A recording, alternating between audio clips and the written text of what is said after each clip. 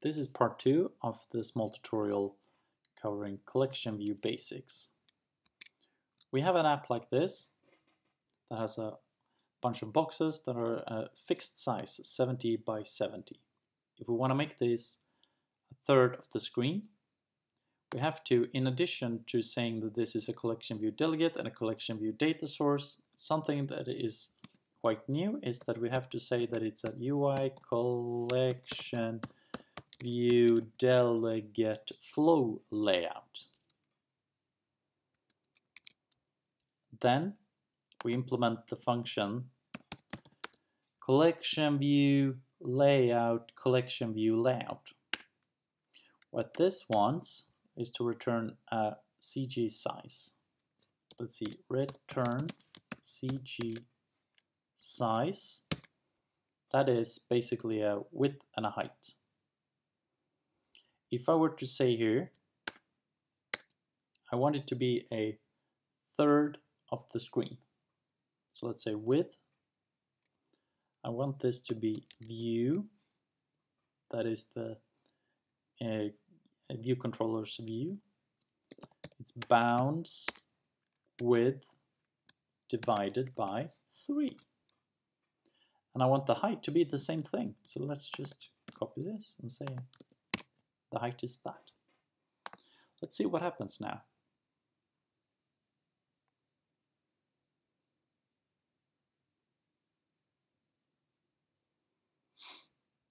Now you see, it didn't happen what we wanted because now we said these are a third of the screen. What we haven't done is looked at the collection view, looked here and says minimum spacing for cell for lines like this. That is spacing between uh, rows and columns. If we remove this and run again,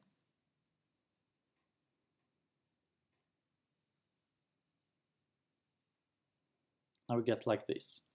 Now they're all red, so it's a little bit difficult to see, but third, third, third, and like this. And this doesn't depend in any way on which screen size we use. Let's do like this. Let's set this label.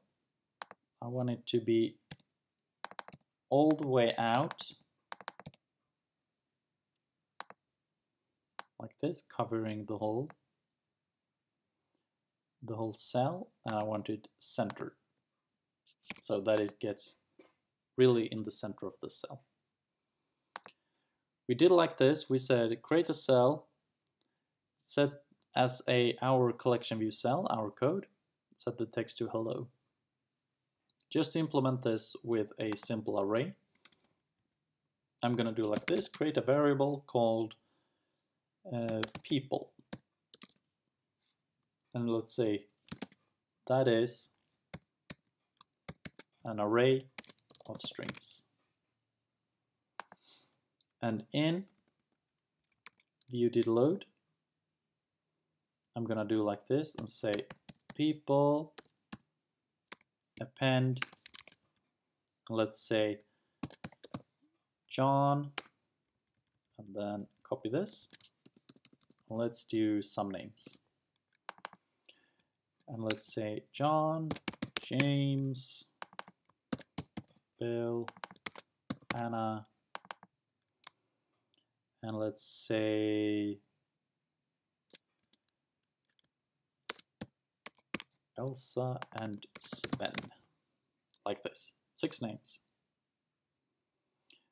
which gives an even amount, so I just want to do one more, seven names.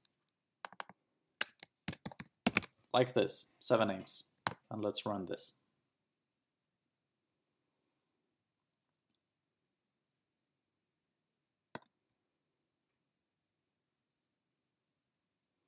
We still say hello.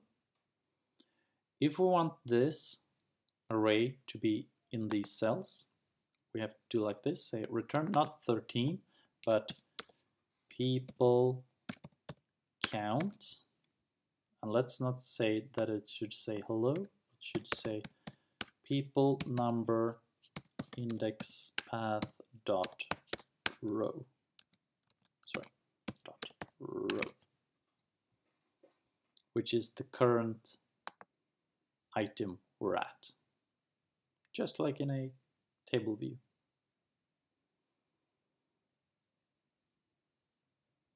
Let's see, now we got John, James, Bill, Anna, Elsa, Sven, Olaf. That's basically how you set up a collection view. If we want this to be another dimension, we can easily change that here. If we want to add more items to this through this item, we can easily do a, a connection with even more outlets. Stay tuned for more tutorials on um, iOS development. Thank you, and please subscribe.